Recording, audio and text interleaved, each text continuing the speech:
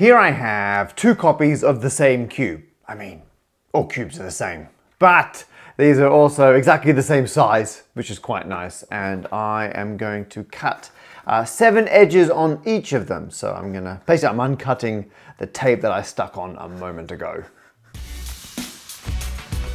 There's that one. And there's that one. So the same shape, the cube, can be uh, folded out into two different nets. And I did a previous video all about this. There are 11 different nets that fold into the same cube. In that video, we took it in a four-dimensional direction next. However, we didn't stop to think, if a single shape can have multiple nets, can an individual net fold up into multiple shapes. Like, could you fold the same net up different ways and get different shapes? And whenever you mention this to a mathematician, they're always like, no, that can't be done. Wham! It can! There it is. This net, same net, two shapes. Forget nets of a cube. This is where it's at. So these are two identical nets. You can see I can line one up perfectly on top of the other one. They are precisely the same shape. They're also based on a square grid and uh, I'm going to fold them up. But importantly, I'm going to fold them on slightly different lines and we'll see. Well, obviously we're going to get the same shape twice. Let's do it. Okay, here we go.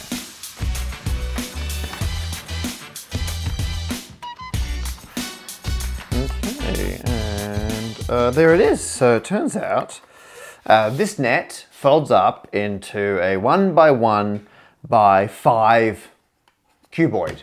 Well, I may as well do the second one just to, just to double check that. And there it is. Isn't that amazing? So the same net gives two different uh, cuboids. I'm going to call these generalized version of a cube. There are lots of different cuboids. We have a 1 by 1 by 5 cuboid. We have a 1 by 2 by 3 cuboid. And exactly the same net, if you fold it in different places, gives you different cuboids. I was recently at the MathsJam conference and I mentioned this idea to a few people and they're all like, no.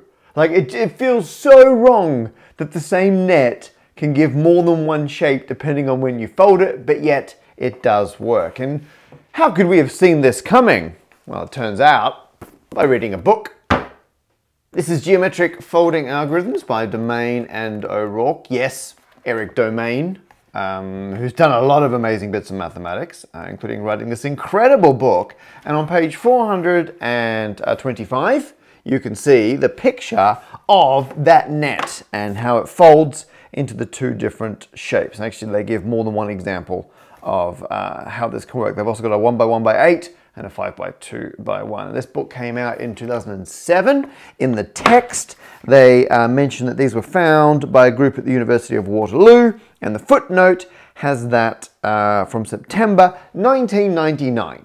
So there you are. Uh, if you look it up, you can see that this idea of the same net giving more than one shape has been with us for pretty much a quarter of a century. That's not right. Can someone check 99's a quarter century ago? Uh, meanwhile, should we have seen this coming?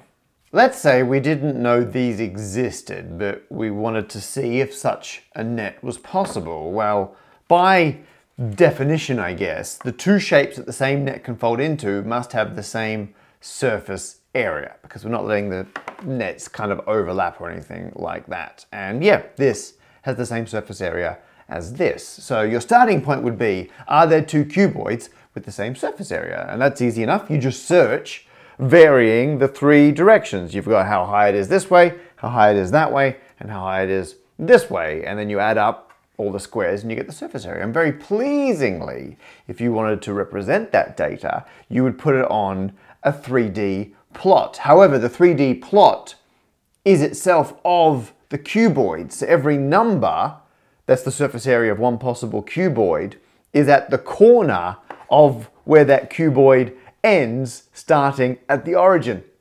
So nice. Now you don't want to look at ones that are duplicates because obviously this is the same shape as this is the same shape as this. You want to have distinct ones and this is the smallest pair. These both have an area of 22 and 22 is the smallest integer that there are two different cuboids with that area. So this is the starting point. And um, how many nets could we possibly have to check? A lot. There are so many nets. Oh my goodness. And a lot of them work. So this one was found in 1999. In 2008, someone went through and checked all of the nets that are made up of 22 squares to see which of them fold into both of these shapes. And there are 2,263 such distinct nets. They're all on a website. Um, I recommend checking it out. The rules are the nets are allowed to touch in a corner, but they can't touch along an edge. So when you fold them up, you never have to make like different cuts to get different shapes. As long as the corners aren't considered attaching, you, you've got 2,263 of these options. Absolutely incredible. Also in 2008, the Japanese mathematician Ryuhei Uehara, who found those 2,263 nets, also published this incredible paper. And in it, they show not only did they find those over 2,000 nets that fold into these two specific cuboids, but if you're just looking at grid nets that fold into more than one distinct cuboid, there are infinitely many. All right, here is the net from the paper. So I'm going to pop those out of the way for a second. And uh, you can see, same, same net twice. There it is. But fantastically, uh, not only does this fold into two different cuboids, but you can extend it as far as you want. This little sticky out bit at the top is always one wide, but then this bit here is not always two. This is actually one plus k and I've just made the k equals one case, so that is two, but k could be a bigger number, and this will be wider, this will be wider, this will be wider. The whole thing just kind of stretches out, and because there are infinitely many possible values of k, you've now got infinitely many nets, and they all fold up into one of two different boxes. Fun side fact that gets mathematicians so excited. These shapes tile the plane, so they can repeat to completely cover a 2D surface. They lock in like that, uh, and then that carries on in each direction. And then these, uh, they wrap around, I think they lock in there. Yeah, that's right, because now you've got this bit here to fill, and that's filled when you put that one there like that. So there you are, they tile the plane. Let's put them together. All right, here we go.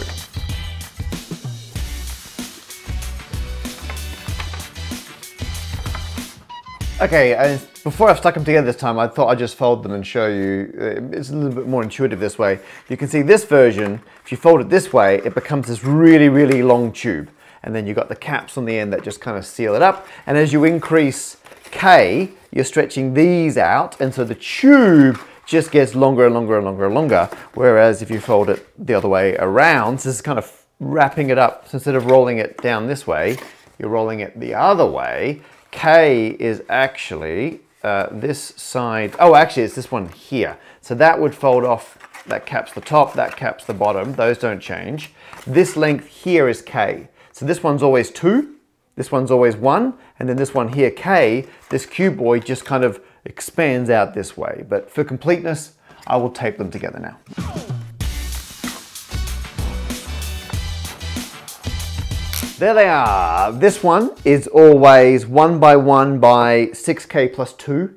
The k equals 1 is the smallest case that works, and so that's why it's 8 units tall and exactly the same surface area. But uh, this one's always 1 by, actually I got this wrong before, didn't I? It's always 1 by 5 and then this is 2k, which is why it's 2 when k equals 1, and this actually gets longer and longer this way, like it kind of stretches out that way, whereas this one gets taller that way, always the same surface area. From thinking that it's not possible to realizing there are infinitely many nets that fold into two different cuboids. Incredible. Now I first came across these in a tweet from 2017 that had an animation.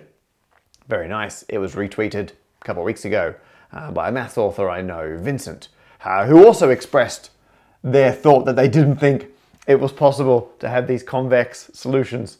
Classic, no one thinks it can be done. Infinitely many mathematicians. Mathematicians versus maths in this case. Uh, I, thought, I thought this would be a great video, and, and that's it. I mean, I guess that's kind of, the, that's the end of the video. The only other, don't look at the time code. The only other thing I could do would be to go through every single one of those 2,263 nets um, and find the one that looks the most like a Christmas tree. There it is. So the stand-up maths Christmas card for 2022. I found, look at that, that's pretty Christmas tree Come on.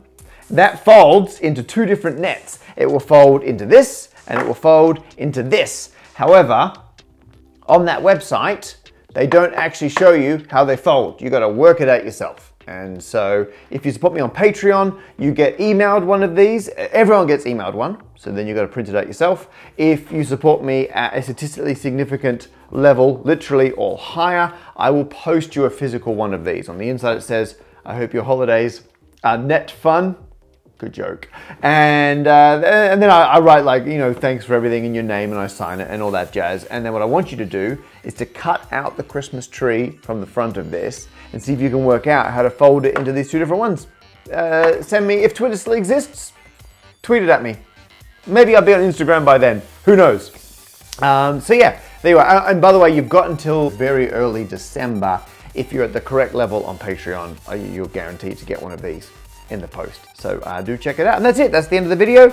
Uh, thank you so much for watching.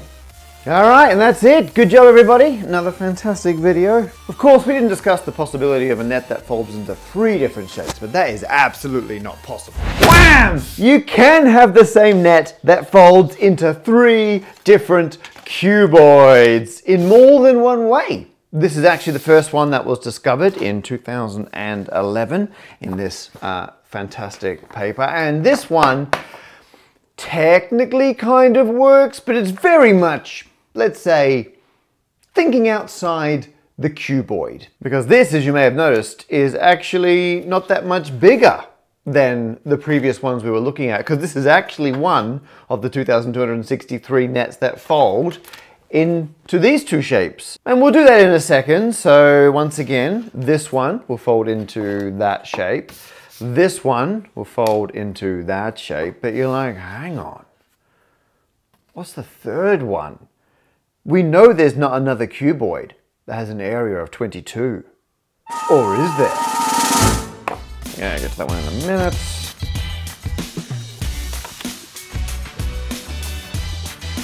First up, my friend Lisa Mather very kindly cut all of these out using one of those automatic kind of plotter machines with a scalpel in it. And she did the scoring and everything. Amazing. But when I sent her these files, I've just realized I swapped these two around. So actually the purple one is this shape. So if I put, I can put that in there and you can see I've uh, folded all the lines. There it is. That wraps uh, perfectly around there. So that one there uh, folds up into the one by two by three uh, cuboid. just the colors are the, the, wrong way around. And then uh, this one here is the one that was purple last time. So that wraps around uh, like that. And then, there we go, look at that. A little more, a bit of a crazy way of folding around. Uh, but there you are. I'm going to save some time by not trying to tape those together. The remaining one though is this one. You think, well, what is that going to fold into? So well, let's just do it. Let's follow the folds. That one goes there. That one goes there. That one, oh, hang on. That goes there like that. And there's like a little half flap there on the end. That folds over there. And then that folds like that. That folds like that, like that, and like that. And there it is. So it folds into, well, it's flat.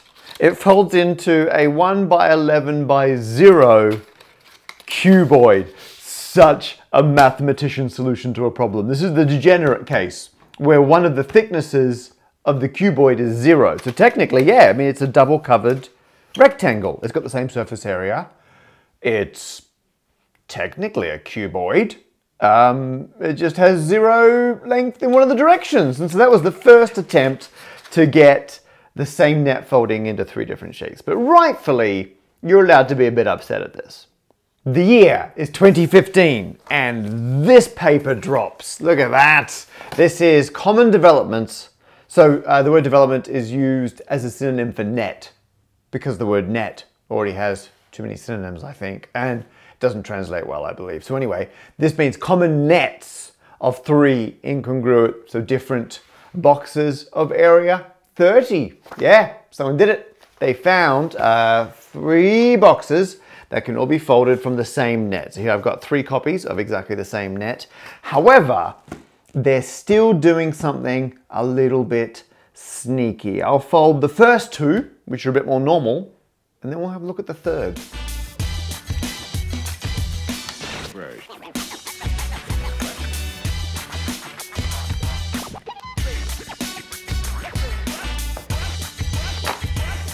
There it is, the first one. It's a one by three by three cuboid. So it's got an area of nine on the front, nine on the back, and then four lots of three. So that's 12 and 18, 30. Area of 30. One cuboid down, two to go. We'll do the this one next.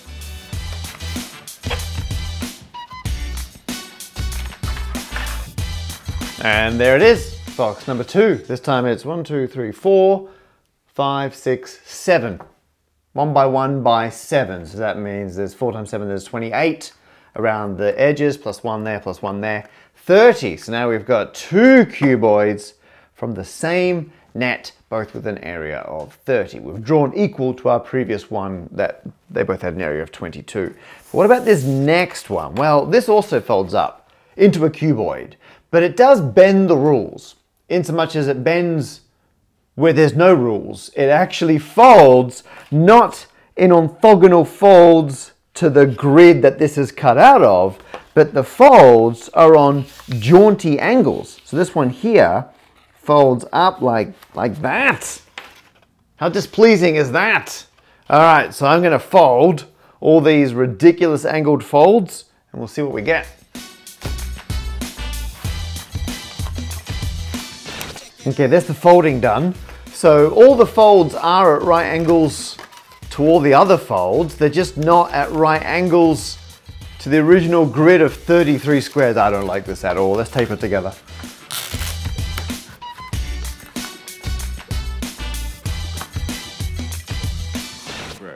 Oh, I'm not happy about it, but there it is. I mean, that's definitely a cuboid. I mean, it's an actual cube. You don't get more oidy than an actual cube and everything is at right angles. It's just not relative to the original grid. And this length now, this new length we've got, that is the square root of 5 compared to the unit length of the grid that the net was cut out of. It's just so ridiculous. And because that's root 5 long, and this is a cube, each of the faces has an area of 5, and there are six of them. Area of 30. So it works. There you are. Area of 30, area of 30, area of 30. They're all cuboids and they were all folded from exactly the same grid. I mean, you cannot argue, people are going to argue with that.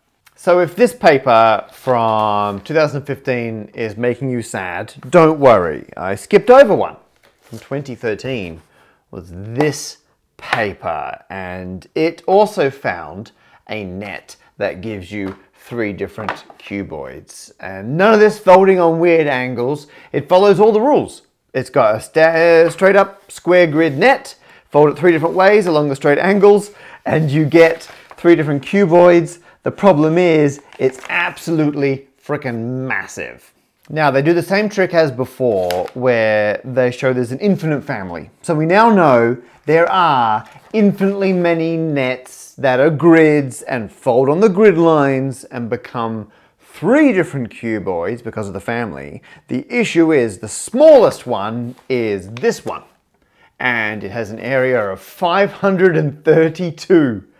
It's just ridiculously big. And when Lisa very kindly made all of these other ones for me, I was like, oh, there is one more. But it's just stupidly big. I don't think we should try. And we did.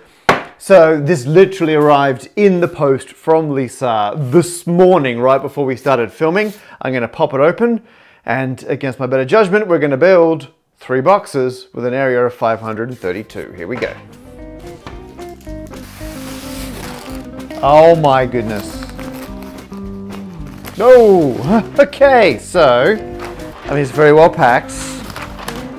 Oh no. Okay, sorry, everything else is going off the these will come back later, don't worry. I'm just gonna very gently put them down here. All right, here we go.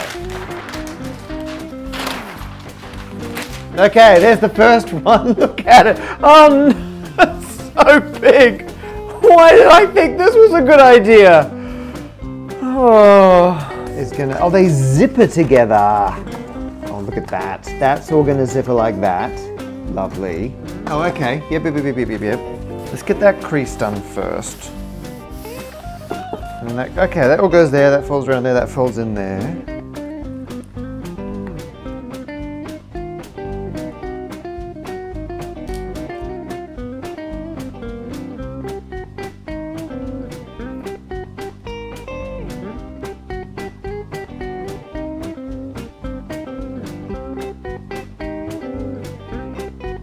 Okay, I mean that's that's far from perfect.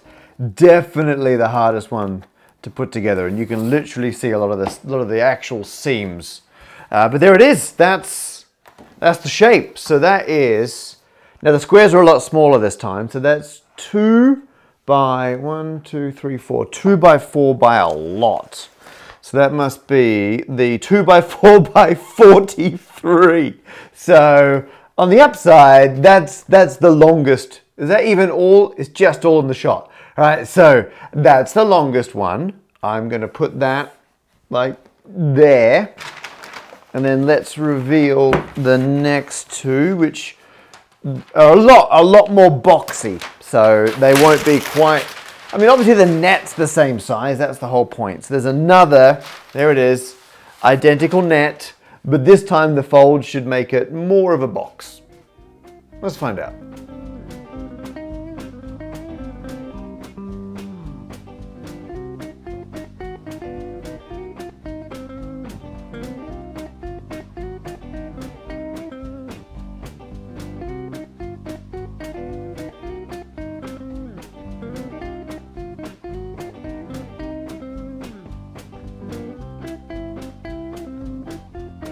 Ta-da!